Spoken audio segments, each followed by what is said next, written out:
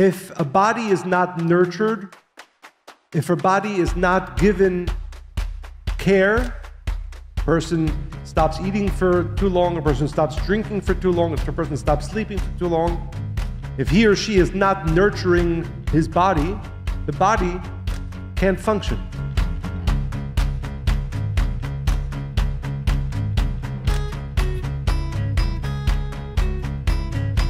Welcome to Spiritually Hungry. Today we're going to speak about something that is, I think, on the top of all of our minds, especially this weekend. And that is the topic of nurturing the soul. My mother in law and mentor, Karen Berg, was asked this question a lot. People would come to her and say, I'm so busy with life and I have a good life, it's good enough, I'm pretty successful why do I need to carve out time for spiritual practice or spirituality? And her answer was, It's a good question to which I could pose another. How can we be too busy for spirituality when without the spirit, we would have nothing to be busy with? Feeding the body is how we survive, but feeding our soul allows us to thrive. When the soul is fed, the, sh- the body shines bright.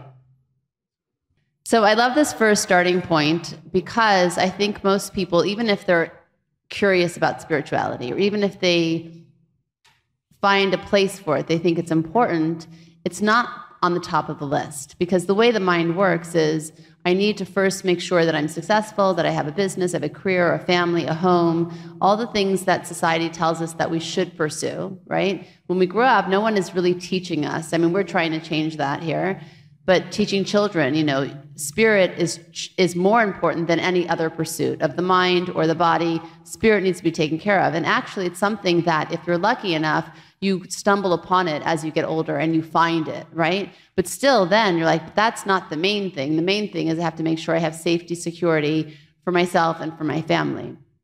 So with that mindset spirituality becomes something that you visit maybe weekly at a class, or if you read a spiritual book, or even if you go to church or you come to Shabbat, whatever it is you do, it's something you visit, but it's not the central point. And then we think once I have all those things that the world's told me makes me successful or worthwhile, or that I've arrived, then I will put focus on my spirituality. It's also the way I think that the United States is kind of backwards, right? I'm going to have that life that I want where I can be leisurely, go around reading, traveling the world once I retire. Whereas in Europe, you know, they close shop a couple hours a day. You enjoy life, you take naps, you drink wine, drink, eat lots of chocolate, live a different life. It's very much part of the experience. So I hope with tonight's topic, we really awaken people to that idea that spirit, addressing the spirit, is actually the most important thing. For sure for sure. Um, so, as Monica said, very exciting for all of our friends here in the room. We are uh, towards the unfortunate end of this uh, spiritually hungry retreat, um, and also excited for all of our listeners who will be hearing this throughout the world.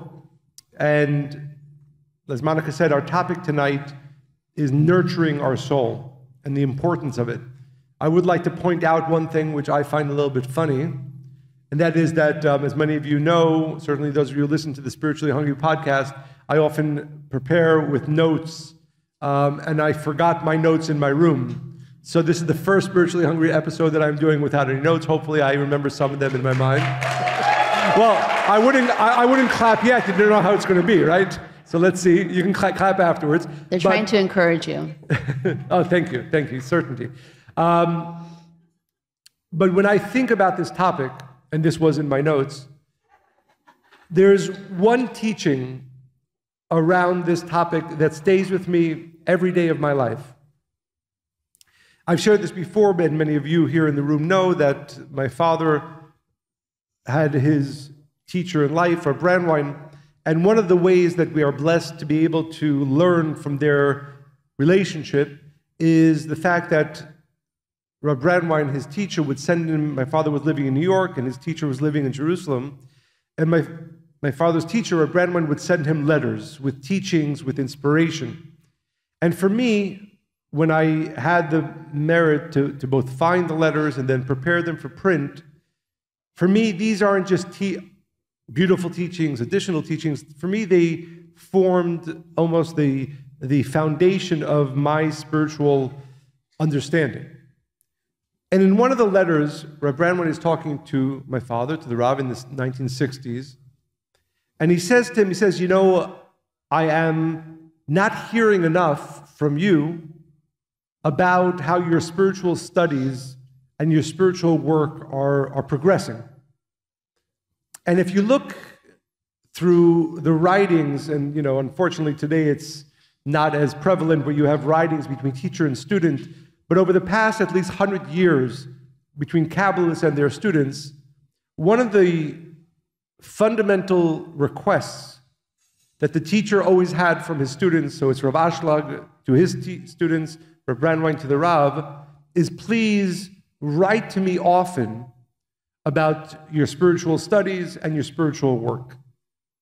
And whenever Rav Ashlag, who was my father's teacher's teacher, the founder of the Kabbalah Center, did not receive often enough letters, he would write very, in very strong terms to his students you cannot grow unless you are investing in your study, in your spiritual work. And to, Mon, to what Monica was saying before, I can guarantee that most of us, most of us are not investing as much as we need to in our studies and our spiritual work, even though I know, you know all of us here take it relatively seriously. We flew all the way down to Mexico to, to come to the spiritually hungry retreat, but there's so much more that we are meant to achieve. There's so much more connection that we're meant to accomplish. So for me, when I think about this topic, the fundamental teaching is this. In one of the letters, Rav Brandwein, my father's teacher, says to him, I haven't heard from you recently about your study, about your spiritual development. And he says, You have to remember. And I said, For me, this is something I think about every single day, and I hope that all of us take this idea to heart and really build it as a focus in our lives. Is the soul is like the body. If a body is not nurtured, if a body is not given care, then it will stop functioning. Person stops eating for too long, a person stops drinking for too long, a person stops sleeping for too long. If he or she is not nurturing his body, the body can't function. And the longer it's not nurtured, the less it can function. The less it is given, the less it can give back. So too, Rav Brandwein said, is our soul. Our soul is meant to feel, to teach us, to guide us. There's nothing, and it's important to remember this, there's nothing that we need in wisdom, inspiration, direction, happiness that our soul cannot provide. You do not, we do not need anything except a living soul. But Brandwein said, Wait, wait, what's a living soul? A soul that is cared for, a soul that is fed, a soul that is alive. So, would you call other types of soul a sleeping soul? Yes, yes. And then it's just a matter of degrees of slumber, but absolutely. And what I would say for every single one of us, if you're experiencing any type of lack, any type of unease, any type of unhappiness, it's only one reason. Your soul is not awake enough. And therefore, at Brandwein, we remind my father over and over and over again feed your soul. Well, it's interesting because often, and I've, I don't know if, I mean, I've had two anxiety attacks in my life, and they're terrifying. It's like the most extreme state of fear, panic, worry, doubt, all in one. It feels like death on some level. But I knew both times, because I had already been studying, that it was because my actions were not in line, aligned with my soul. And my soul was so uncomfortable that it took making my body that uncomfortable to ma- pay attention to my soul. Absolutely. And so sadness, anxiety, depression, of course, there's other, I'm not talking about extreme illness, but to that level of the those things popping up here and there throughout life it's definitely the soul saying wake up i'm so uncomfortable in this body that I've had to come into, we need to do some kind of change. And in fact, there's something called the soul's contract, right? The Zohar speaks about this that before a soul comes into the physical world, There's a conversation. By the way, Monica and I did not prepare this, but I'm, as you're talking, I'm remembering all my notes. I'm so Which glad. are very much in line with what you're saying. So thankfully, we think alike. so, well, we've been married a while. The the creator and I think our souls are connected. yes, the also, years of marriage. and the soul are talking to each other, and the soul doesn't want to go back into the body. But the creator is saying you need to go back into the body because you need to be able to live in this physical world for the process of having free will and for growth, etc. Do you want to extract? Right, absolutely, I do. But I want to first under, underscore two things that you said, which I think are just so important. First, as we said before, every experience of lack, every experience of anxiety, every experience of unhappiness has only one real cause, and that is that our soul is not awake enough.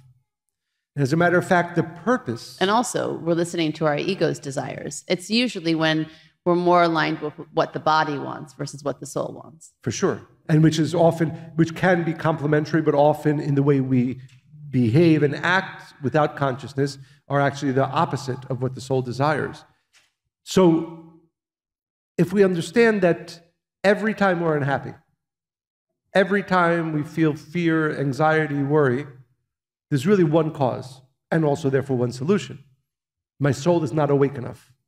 You know, imagine, and again, I think I, I really want to stress this point. Imagine you had a friend who you knew had all the answers that you need. If you needed help at work, they can give you advice, they can also give you support. There's literally, they are the Comfort, wisest, love, all of it encouragement. all of it. But and then but you going through challenges, you decide not to reach out to them. That's silly, right? Because you have somebody who's right there and ready to support you. Our soul has everything that we need. Everything that we need. But the hiccup is this. The great Kabbalist, my you notes, my notes are here. Kalonymus, I'll be I'll be better from now on. Kalonymus. Kalman Shapira, who I love his work. He's written many books and he he's he wrote them while he was in the Holocaust actually. And he buried his books and he said that if you find them and I'm alive, send it to this address. If not, please publish them. He perished in the Holocaust, but his books were published. And they're so profound, and they always speak to me as if he was living in this day writing today. And he talks about this idea with body and soul. He said it's easy to understand the body because it's tangible, right? Everything that you experience in life is through your lens, through your perspective. What you feel, touch, taste, you can you can experience that. But with the soul, it's about emotions and thinking and things that are not tangible. So it's hard to make that a priority. However, everybody is responsible for their own soul's process. Everybody is able to go internal and to tap into that part of themselves. Nobody can help anybody else more than themselves, right? We go to therapists, we go to doctors, we go to psychics, but the truth is we have all the answers within because it's within us, but we're so fooled by it because we're like, "Oh, I don't have access to that. I'm not really sure what my soul wants or I'm not really connected to that." But in fact, that's the biggest fallacy. Absolutely. And and I, I want to go back to the contract I you do spoke too. about, but this cannot be stressed enough. But you have to have this certainty about yourself that I, my soul, which is our essence, but unfortunately, if you ask honestly, and again, every person's different, we're living three to five percent of our soul. But Well, you have to unpack that too because that's what does that mean? Well, anytime if, Three to five percent is very low. So, is low. So what happens to this? So the soul is doing what the rest of our day? It's in pain. So back to the contract, and this is related to the contract. So as Monica mentioned, and it is one of my more favorite teachings, that it says that there's a great cry that it, the soul gives out, yells, when it is born into this world.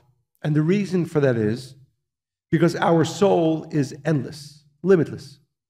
And in the moment of birth, the soul is snatched away from experiencing and living in a limitless reality, really allowed to shine its light freely. so you say snatched away, but the soul understands it's coming into the body. It does, and that's why it's so scared and, and, and, and, and, and uh, screams out. It literally, the Zohar says that that cry of the soul can be heard if you had ears from one side of the world to the other.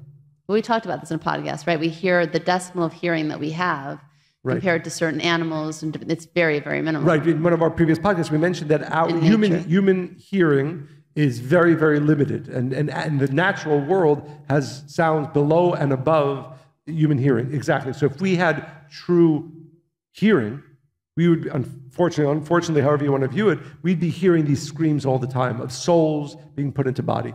And that's important, but more important is to understand what happened to our soul and what happens to our soul. So we spoke a little bit on Friday about the conversation you need to develop with your souls. And again, I don't want to be a you know sort of down a downer, but the reality is that we have to understand that our soul is in pain. So if we're manifesting 5% of who we are, if we're allowing only 5% of our soul to express itself, it's feeling great imprisonment, great pain.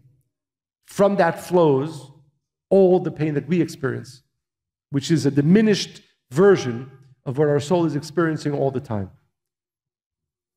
The contract that our soul makes with the light of the Creator is twofold. It says in the Talmud that when we are born, we, we swear, we make a, a vow to the light of the Creator I will the words are be at tzaddik, which means that I will be righteous, which means I will reveal the totality of my potential, the totality of my soul in the world. And the light of the Creator makes a corresponding vow, which says, I will give you all the support that you need once you make that decision, and as you continually make that decision to reveal the great light that your soul has. And that responsibility is something that we don't interact with enough. We don't experience it enough. We don't remind ourselves of it enough. Like you said before, I We think, don't remember writing that contract or signing that contract. Most don't. Right? I, I would recommend. It's funny but you know. I, I was actually thinking as I was preparing for this podcast, it would be a good meditation for every single person in the morning. And there is a kabbalistic meditation around this, where we speak about the soul that came back into our body. And one of the reasons, by the way, that the human body needs sleep is not so much because the body could not have been created, right? But there are certain animals that need less sleep. It's that the body cannot, it's too, Contain. sorry, the soul is in too much pain if it had to be constricted. So it's allowed for the five hours, six hours, eight hours, whatever that amount of time that we're sleeping, it's allowed to go to its natural state of complete revelation. And then every single morning again, there's that pain that the soul feels from being limitless and put back into this body that has to constrict it. What's interesting when you say it like that, then nobody should ever fear death because, in an essence, we experience it every night to some degree. Yeah, we absolutely do. As a matter of fact, the Kabbalah the Zohar says that sleep is at least one sixtieth of, of death. But for the, so- for the soul, it's a great reprieve because it's finally allowed to breathe free and to be itself. That's, I thought you were talking about going another way with but death. The, the ancient word for death in Hebrew is, is, is sort of relief. Mm-hmm. Because what actually happens for most souls when they leave the confines of the physical body is that they're relieved. They can finally shine in their great light. And a little bit on a tangent, but I, I think I've mentioned this before. When my father's teacher, Reb Brandwein, left this physical world, my father, of course, was in great pain. But he would share with us in the years after that he realized at that point, at a certain point, after going through that pain and that darkness of losing his teacher in the physical world, that now his teacher would be more available to him. No longer, no longer confined in the physical body, he can be with him wherever he was. And, and I've said this before, and it was really an amazing thing to see. As I mentioned this, we, we would study with my father in the early hours between 1 to 5 a.m. most nights. And we would study deep Kabbalistic texts. And every once in a while, we would come across a question and we would ask my father, the Rav, and he would stop. He would ask his teacher, and he would receive the answer. And this was a commonplace thing that happened. And again, but back to the, to the idea that sleep is the time that our soul is allowed to be free. And then in the morning, there's a special meditation, prayer that we say, where we give thanks for the soul, well, I would say coming back, but really the light of the Creator forcing the soul to be confined in this once again. The purpose of all this, understanding, of course, is to give us enough impetus and drive and desire in our waking hours to give much more effort to both the care of our soul and allowing it to reveal its true and great light. Let me ask you a question. Do you, when were you aware, before you even started studying, which is kind of silly because you started when you were in diapers, but that you had a contract? Because so, I remember a moment where it, it dawned on me. I, I misunderstood actually, yeah. the contract. So, so why don't you, sh- you share yours first? well, I misunderstood it. I thought that I had to help every single person, like save them, and if they didn't have an awakening of spirituality, that somehow I failed them. So I took the contract, I think, a little too seriously. I'm a good student, but I was aware of the contract. I, I always was. Was there a moment? Yeah, I mean, it's going to sound so corny, really, but God was my first friend. I used to play with the creator in my room. Like, really, honestly, I'm going to cry. I honestly, like, that was my first friend. And so I was aware, like, it was, I, I don't know, I felt like that presence came to remind me early on what I needed to step up and do here. I got I got distracted for sure, somewhere in the middle, but I found my way back. Beautiful. So I remember I was about eight or nine years old, and uh, we were living in Israel at the time, and we would go at least once, usually twice a month. We were living in the south of Israel, and we would travel at least once, usually twice a month, to the north, where all the spiritual sites are, where the, where the righteous, many of the righteous souls are buried. And we were staying in a motel. And uh, those of you who know, it's on the way down to the Ari in, in Sfat and Safed. We're staying in a hotel. It no longer exists as a hotel. It was called the Friedman Motel. The Ari is a famous Kabbalist. Some people yes. won't know that. so we were there. We were sleeping there. I was, I, we, I was in one room. My parents were in another room. And suddenly I wake up in the middle of the night, again, eight, nine years old, and um, the thought comes to me because we know that the ultimate purpose of, of, of Kabbalah, the ultimate purpose of the spiritual work and study, is that the world as we experience it now, as the whole world experience with all of the pain and the suffering and the death, is not the way the world is meant to remain. And I knew, as whatever a child can comprehend, eight or nine years old, that that there's work that can be done to awaken the world and to awaken the individuals and the collective so that the pain and suffering and death that exists can be removed. And then I, the second thought that came to my mind was that, you know, what happens if that work is not accomplished before my parents have to leave the physical world? And that thought, I remember that, I remember that second, I was filled with so much fear and, and worry I ran into my parents' room and I jumped, as, as, our kids still do. Well, one of our kids at least. Yeah, what? Don't embarrass well, well, David sometimes jumps no, into our bed. That's not um, true. Um, not, not, true. true. we wish he would, but he doesn't. Um, no. No, we don't. Sorry. Um, so, so, so I, and I, I jumped into their bed and I, I remember that. For me, that was the moment when I realized that my soul's desire and purpose in this world is to do as, as much as quickly as possible to bring enough wisdom and light into this world so that the world as we know it, unfortunately, still, with all the pain and the suffering and death, can be removed. I want to share with you a book that is very much aligned with what we're talking about tonight. It's called Care of the Soul by Thomas Moore. And it's a great book, by the way. If you haven't read it, really I great recommend book. it. And he explained that in the modern world, we tend to separate psychology from religion. He has a background in psychology.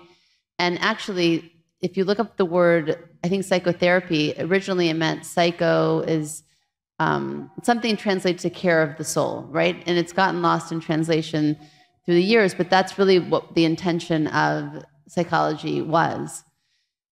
And he goes on to say, we think emotional problems have to do with the family, childhood, and trauma, with personal life, but not with spirituality. The soul, the seat of our deepest emotions, can benefit greatly from the, grip, the gifts of vivid spiritual life and can suffer when it's deprived of them.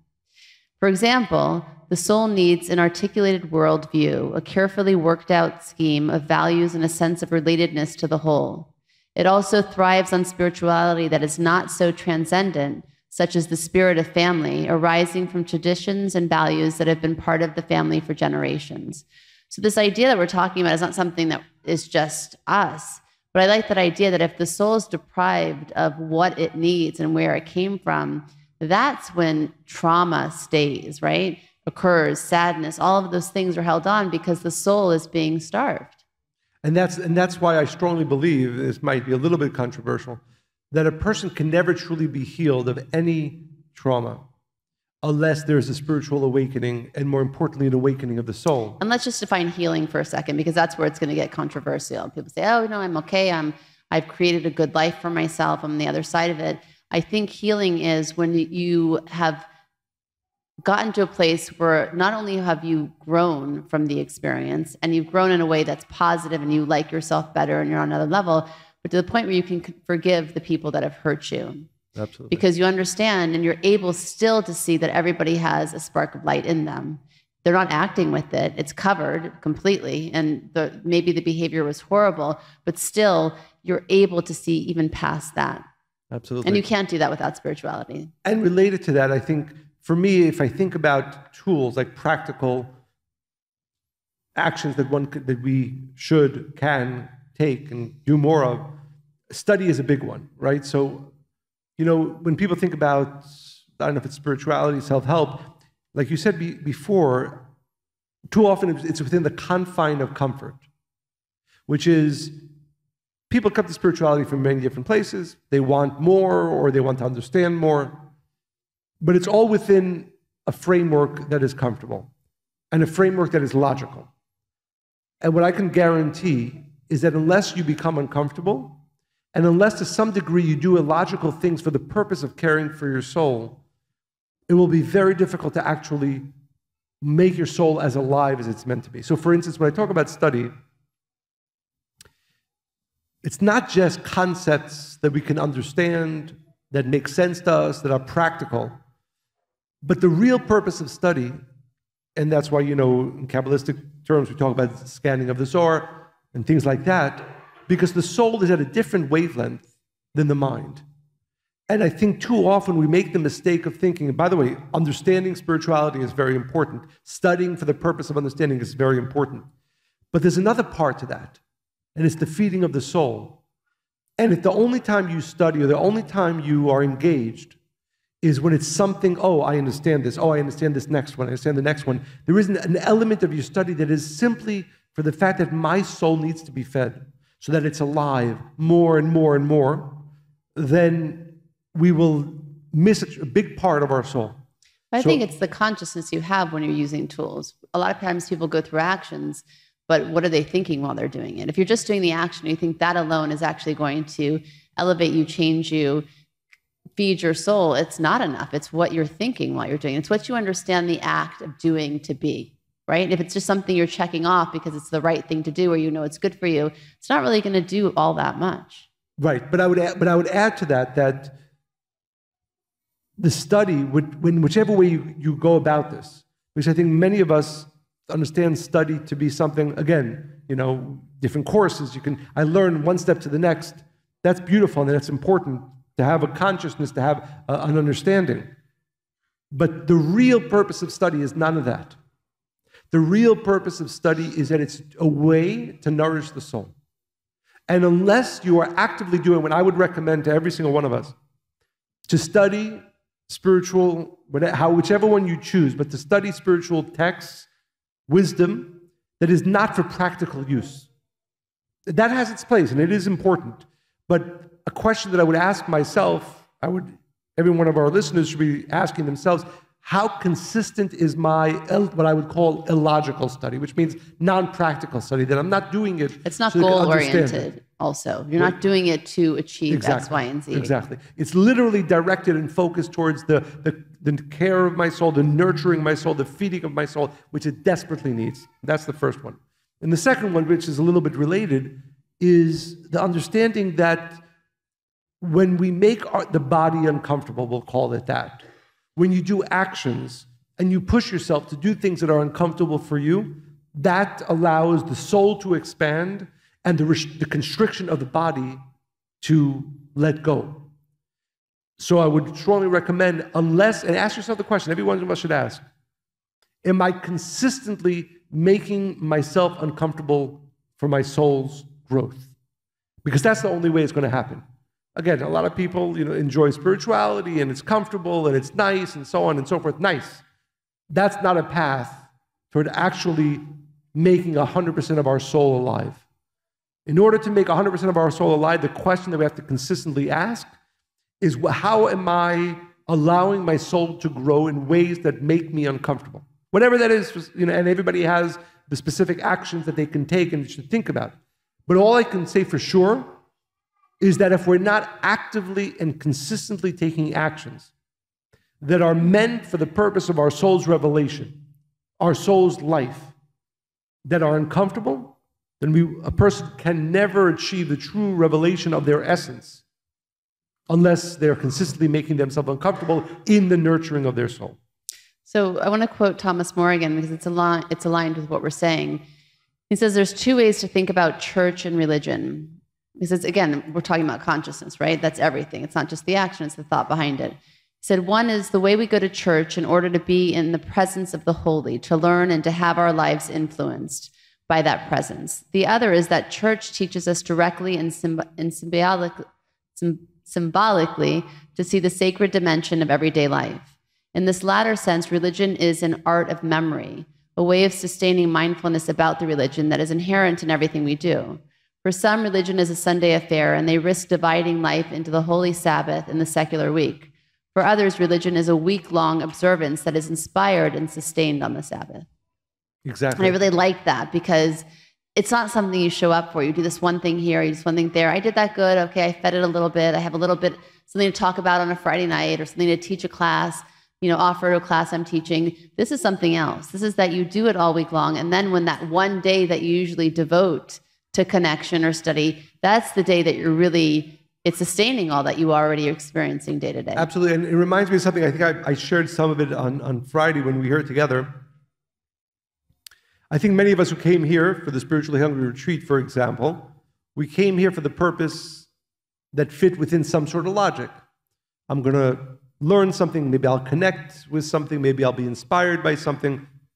For me, what excites me about being here with all of you, what excites me about coming together whenever we do as a, as a community for connection, is not so much what will logically happen you know, I'll get to share, I'll get to enjoy, uh, you know, somebody else's conversation, whatever logically happens. For me, the most inspiring and exciting element is what is happening to my soul that I don't even know. When you gather together, for example, with a group of people for the purpose of connection, for the purpose of revealing ourselves, which is really the main reason we come together, the beauty is that it's not just what you experience. It's not just what you learn, it's not just what inspiration you receive, it's actually taking care of your soul in ways that you can't even understand. But I know, and I hope all of us here know, and hopefully all of our listeners who gather at least virtually with us, that what happens to our soul through this connection is so far beyond anything that we take away in a way of understanding, in a way of logic, in a way of clear connection. Because the soul is being nurtured all the time when you are directing it, when you're, again, in this example, when you're coming together for the purpose of developing your soul, then no matter what else, again, great, you got inspiration, and great, you'll get some wisdom. But more important is actually the unknown sustenance that our soul receives when we gather with friends, whether it's hundreds, whether it's two. And then that's why I mentioned a little bit of this that the Kabbalists teach that when two friends come together for the purpose of sharing, for the purpose of spiritual connection, then the light, what we call the light of the Creator, comes and rests upon them in a way that they can never achieve on their own. And then, yes, maybe they will study together, maybe they will share together, but more important than anything that they share and receive is the sustenance that comes to their soul. Well, I think also coming here together, right? We stop that fast paced living and we slow down. And it's more of instead of rushing through life, we actually live them. So I think that's the importance of coming together for something like this and to do that continuously. The other thing you mentioned, study, when we do that, it lifts the heaviness of the body, actually, right? There's two other tools. Laughing is a great way to connect to your soul. In fact, spend time with children because they laugh 25% more than adults. Really? Yes, that's why I like hanging I out like with laughing. kids.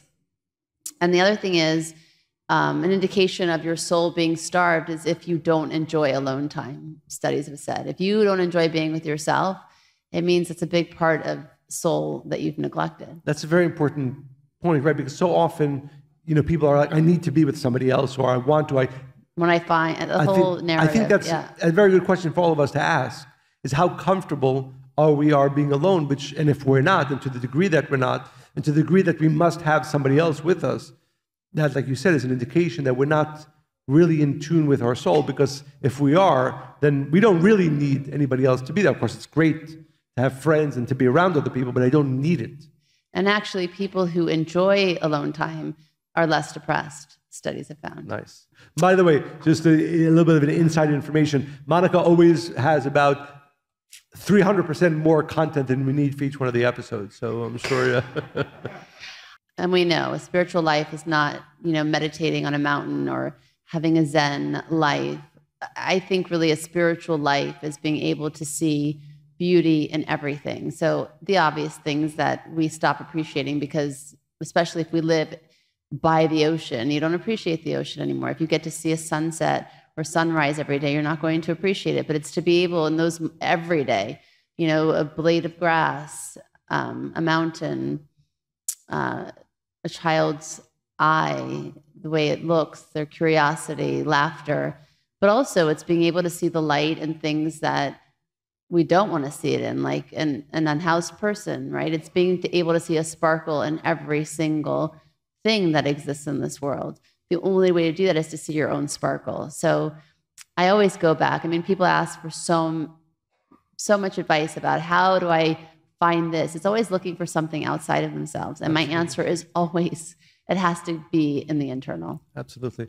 And if I would give one idea, which, you know, if, I, if, if anybody asked me, how, what do I see as the most important work of my life, it would be to the Making degree- your wife happy. Yeah, besides making my wife happy. um, no, that's what she said. um, that's what she said. Um, it is to, to inspire, more importantly, help as many people to understand how much greater they are, how much greater their soul is than what they're currently experiencing. I say this to myself, I say this to all of us.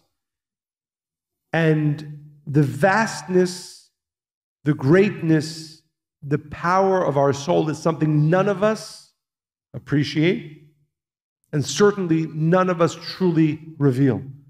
And therefore, I, I often see this my, one of my main driving forces in life is as many people as I can get to increase their awareness of their power, of how great they are, their soul is, if it's by 5%, by 10%, hopefully all the way up to 100%, because there's no way of us, there's no way of us revealing 100% until we begin the practice of understanding how far we are from experiencing, from revealing the true great light of the soul that each one of us has. So, with that, we'd like to ask any of our friends here to, if any questions, comments, stories. I see a few hands raised. We have Yigal has the Behind you. microphone. Remember, they're going to be amazing questions, thoughtful, beautiful, coming from your souls. Hello. I, I think the question about soul contracts got a little buried.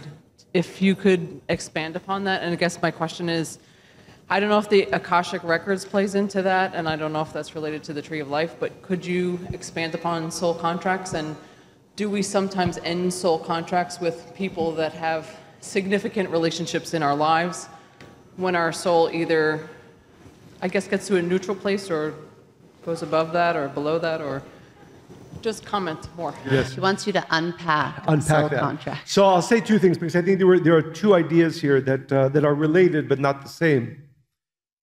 The first and most important contract is between my soul and its source, the endless light of the Creator. And that contract is that when I was born and when you were born, when each one of us was born, we made a vow that the number one priority of my life is going to be to nurture, connect to, and reveal the light of my soul. And related to that, we said any discomfort that we feel in life is the soul, the soul's pain that we are not living up to the vow that we made. Second, which is something we didn't touch upon, but is also true, our soul also has vows, contracts with many other people. My soul and Monica's soul made a vow to each other before we were born into this physical world. My soul made a vow to my children before we came into this world. And so too with significant relationships that we have. And by the way, it's all the same vow. My vow with Monica, my soul's vow with Monica before our souls came into this world, was that I was going to do whatever I can to allow the light of her soul to be revealed. And the same, she made a vow to me.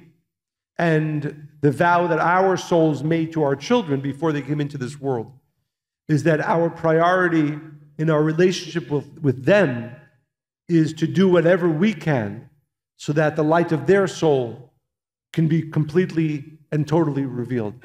So it is true, again, the most important vow that we make is the vow between our soul and its source, the essence of the endless light of the Creator. But yes, there are many other vows that we made, certainly to the important relationships in life. And there are other, the Ari, the great Kabbalist, refers to it as the, the, the tree of souls. And there's branches on that tree. People that you're close with in a true way are people that you come from the same branch of soul. And we all have contracts, certainly, as I said, to those that our souls are close to in one way or another. But the reality is, at the foundation, it is all the same vow. If it's with a friend, our souls made the vow that before we came into this world, we will support each other and do whatever we can that our friend's soul, that our soul, they to us, support the revelation of our soul's light into this world. Okay, two questions. So are you saying that, because that kind of covers tikkun also. So everybody that we have a process with in this life, right? A, a husband, a wife, an ex-husband, an ex-wife, whatever it is, that we wrote contracts with all of them. Yes. So that's basically covering the tikkun aspect, the It's also part of it, yes. The other thing is, and I think we should explain this, is why we forget this contract. Because obviously, if we remembered it, we'd all be better people right now. Well, that's part of free will. If we if we had a clear memory of that vow, which is by the way something we are I'm meant saying, to I'm saying small, little. we all have a small. We all have a, So hopefully. that would you call that um, serendipity or um, what is it called? De- Deja vu. Yes. Is Yes, That, that's yes, the of course. reminder of the contract. Yes, and, and sometimes that if you the more you are thinking about in this way, the more you will begin to sense it with certain people. That that that the connection that we have isn't just we happen to meet in this lifetime, but that there's deeply something that our souls promise to each other. And again, this is a whole, maybe we should do a whole podcast on this, but there's a lot of writing amongst the great sages and Kabbalists about how careful, therefore, we have to be.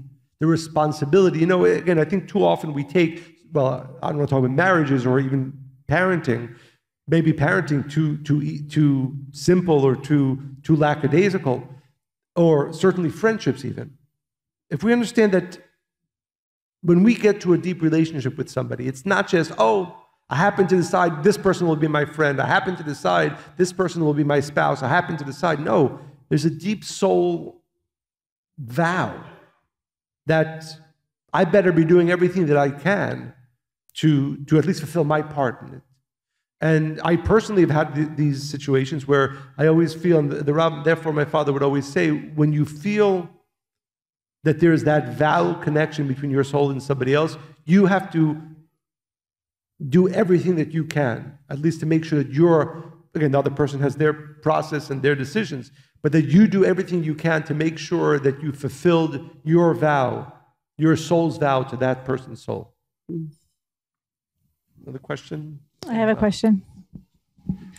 So, Michael, on uh, Friday, I think you said that we can't take ownership of our souls, but we have to protect it. So, you know, for John and I, we were kind of really trying to let that settle in. And I wondered if you could share, and maybe also Monica, you could share, because it's, Michael, you're going to bring us up there, and Monica's going to help us get it down here.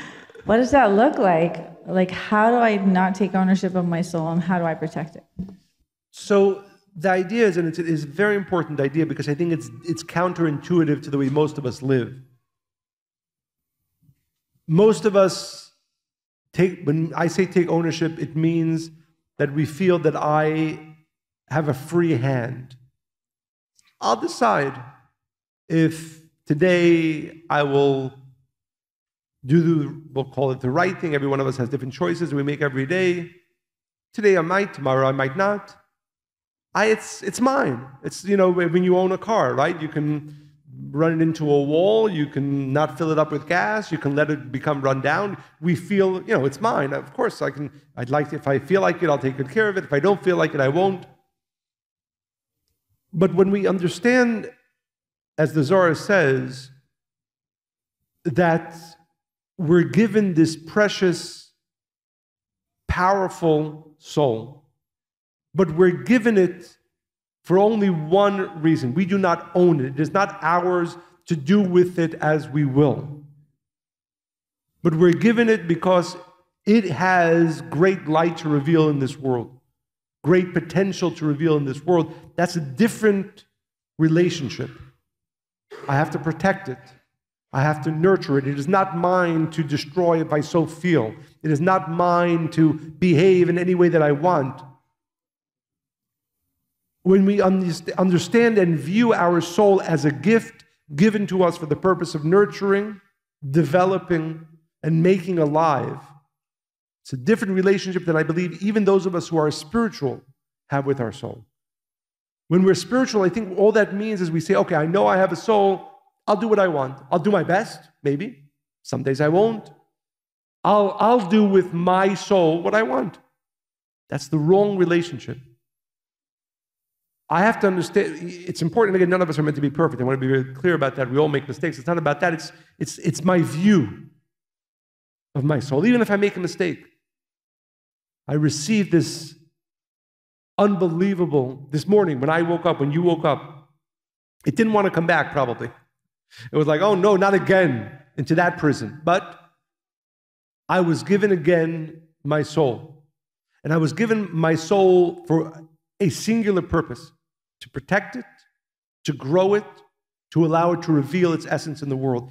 And when you have that view and that relationship with your soul, it's a different parameter within which you live, as opposed to the other view, which is yes, I was given this soul that's mine, like my car, like my, like my clothing. I can rip it up if I want. I can do whatever I want. Of course, I'd like to, to I like to do good things with it, but it's my choice.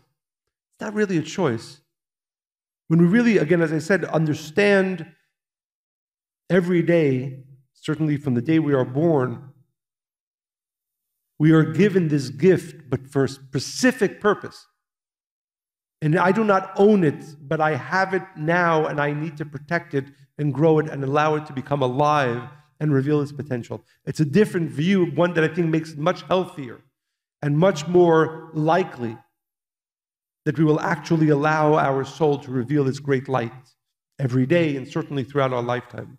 I just think you need to make it a little. I know what you're saying, but I think the part of that's all that matters. As long as Monica understands me, that's okay. No, that we're given the soul; it's not ours, but we're saying the soul is all that you are. It, it's confusing, so you need to explain where soul comes from, and that you get a part of it to use in this life and what you do in this life matters with the part of the soul you have. Right. It's just, it's not. Right. Okay. So, of course, okay, to make this, of course, it is our essence, right? But it is not something to be viewed as owned by me. Abused. well, that would lead to abuse, right? If it's owned by me, I could do whatever I want.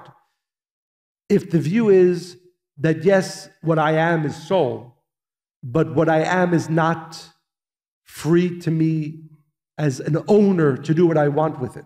It's like there's a mothership that sent down Okay. these little aliens, let's say. All soul, right. Okay, whatever.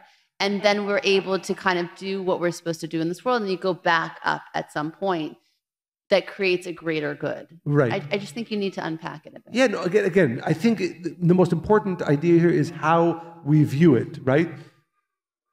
Most of us, even those of us who are spiritual, I believe, say, This is my soul. I will choose how much I study, how much I develop, how much I make myself It's uncomfortable. like teeth. I'll, these are my teeth. And then It's after a you ruin It's them, like you're like, oh It's my like- God. Exactly. I need to get a fake tooth and then I need to whiten them and whatever it is. And it's like, what? I have teeth issues. But, right? Um, right, exactly. As opposed to the view, what I am is really a part of a much more, a greater reality. And the soul that I'm given is not given to me to use and abuse as I will, but for a very specific purpose. And that consciousness around my soul, which is what the Zohar is, is, is teaching, inspires us, hopefully, gives us clarity, hopefully, to understand that when I woke up this morning and when I wake up tomorrow morning, the only reason I was given this soul again was because I was entrusted to allow it to develop more, to allow it to grow more, and to allow it to reveal its essence more. Because what's the big picture? Because that, well, that's Not just for you alone, though. What, what is the bigger picture of that? It can't just be that. So then, then you have another day and you get more elevated. Then what happens after that? Well, Souls again- go back. Yes, yeah, of course, but I'm saying, but even on a more, most basic level, my soul was meant to change the world today. Your soul, every one of our souls is meant to change the world today. And that's why I was given it. I wasn't given it so I could have a good, happy day. I was given it so that I can actually do something for the world today. And that is when I allow my soul to live, when I allow my soul to be alive, when I allow it to really reveal its essence. When I live life with that direction, then the world changes every day because of my soul. That's why I was given my soul today. That's clear. Thank you. Monica understands. That's all that matters. Uh, one more, One well, one more more, question. one more One more question. I want to talk about about what is happening right now here on what has been this weekend. It's amazing. I have talked with some of my friends. Um, being in this community is amazing, and having this opportunity of being all together is amazing. It's a huge experience and a great opportunity to be together and know that even if we are coming from different places, different countries, different uh, cultures, uh, we are here looking for the same. So I, the question that I want to do is talking about the environment because we, when we are inside the community and in this environment, it's so easy to connect with yourself because no one is judging you. We are all here, like in the same path, even if we are coming from whatever and having any process in our lives, we can connect, looking for the same. Being inside of a community is, uh, like you say today, like that seed in the right soil. So, my question is if I know that being surrounded by an amazing community, I can grow, I can be like the best. But I don't have that community right now because I'm one of the persons that lives uh, far away from a center. Um, what I should do? Should I go and run to go close to a community, or should I take it as an opportunity to create a community? Because um, if I'm in the middle thinking about this as my point and my opportunity, both sides are very uncomfortable for me. Moving, chasing something that I know exists, or creating and staying here, but create something that doesn't exist. Um, very good question. And I will remind you of, of um, another very important foundational teaching from Rav Ashlag he writes that the only choice that we make in life is the people we surround ourselves with. And he says, he uses the example of the seed related a little bit to what I was speaking about earlier today. If you take the most amazing seed that has a seed that has a potential to grow the most amazing, beautiful tree, and you leave it on a table for a thousand years, nothing's going to happen. You take that same seed and you put it in a beautiful soil, rich soil, it will grow and become a beautiful tree and bear fruit. And therefore, he says, I would never, he quotes from the ancient sages, I would never live in a place where I do not have at least one person or few people that can support me in my work. So, to answer your question directly, you have to do one or the other.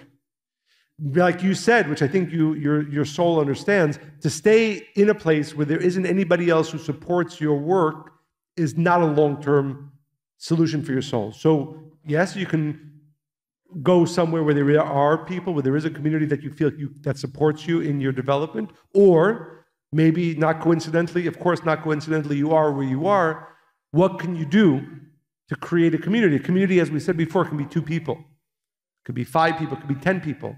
But what I would strongly recommend, and this is for all of us, no matter where we live, by the way, to be very clear, a person can be in a place where physically there's, a, there's friends or a community that supports them, but if they're not actually nurturing that relationship, they could also flounder, not grow. So, not just you, this is something that I say to myself and to all of us. Make sure, number one, that you have a community. As we said, a community can be just one other person that is pushing you to grow, that is supporting you to grow and to change. And Second, make sure that you are partaking of that community all the time in an active way. Because unfortunately, I've seen many people who live in what one would call the spiritual community, but because they're not actively pushing themselves to, to the support and the, and, the, and the growth that can come from that community, they're also not growing. But one thing that, I, that, that the Kabbalists say is, is not a good idea is to stay in a place where one does not have a community and one is not developing community. So, to directly answer your question, my guess would be that because you accept that you cannot be in a place without community, actively, and, and also second to that, it's not a coincidence that you're living in a beautiful place, as we know. Create a community, one person, two people, three people, and make sure that there is within that community of one person, two people, five people, 20 people, whatever that number is, that there's an active and consistent push for growth and support from within that community. So, my question is what role does humor play in our soul's journey? Ah, that's very good. I like that question. Monica, want to take it first? No, go ahead. So, so, so some of you might know this about me, but I love laughing almost all the time. And the reason for that is because when you're connected to your soul, you realize that really in life, why, why, do, why don't we laugh, I believe, enough, right? Why aren't we joyous enough? Because we take everything so seriously. When in reality, and again, I could be wrong, and the exact percentages 99.9% of the things are not important. There's certain things that are important friends, family, relationships, health, spirit, and our soul. But all the rest is kind of funny. And we shouldn't take it all too seriously if we really are focused on the soul. And therefore, I find it very easy to laugh. And, and because, again, my soul is important to me, my soul's work is important to me, my spiritual work is important to me, and this group, you know, the we'll call it the 1% of things that are truly important. The rest of it I don't take seriously at all. And therefore, I would say, probably to answer your question, maybe to inspire all of us, if you want to know if you're truly nurturing your soul, one of the ways is are you laughing more about more things?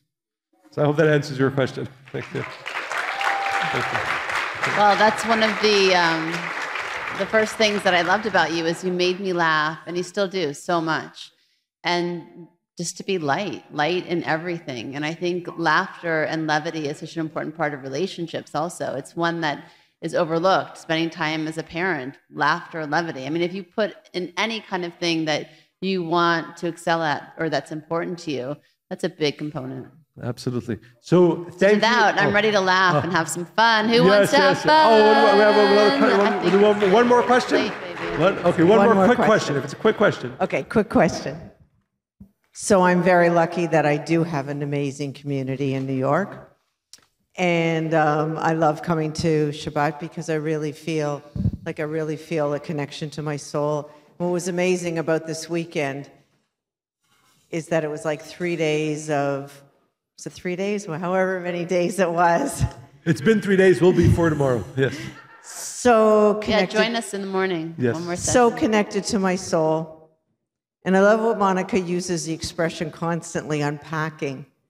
And I really feel like it's really spent like, I don't think I've ever done this, other than, you know, the few two hours that I love being in the center on Shabbat. It's been like an amazing few days of unpacking my soul. And I'm so grateful and it feels so good. And I don't want it to end. And I know that I'm going back. And the biggest challenge I have in life, and I don't know if anyone else here has that challenge, is the minute I get back and the shit hits the fan. Excuse me for saying that. There's children here. People, there's children here. Is that okay to say the shit hits the fan? Yeah, Okay, say, say it again. What's that? say it twice. Sorry. the stuff hits the fan, the proverbial hits the fan. And it's really hard to stay in this consciousness.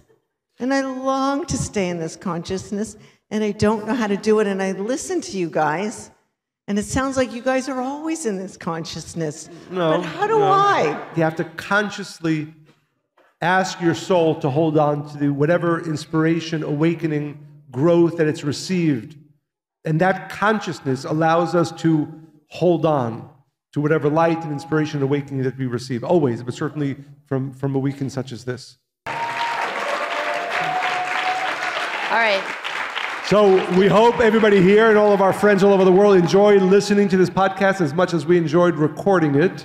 And as Monica always reminds us, Stay spiritually hungry. thank you.